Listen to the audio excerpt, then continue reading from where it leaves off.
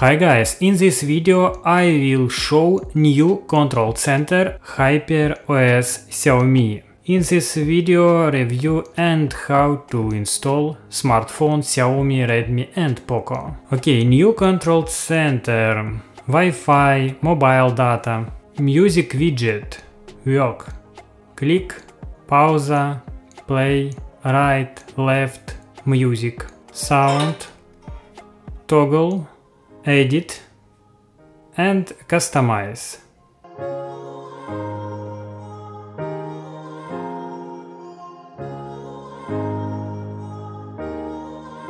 I testing a new control center MIUI 14 Android 13 how to install system UI plugin new version update testing MIUI 14 Android 13 example Redmi Note 10 Pro. After update testing.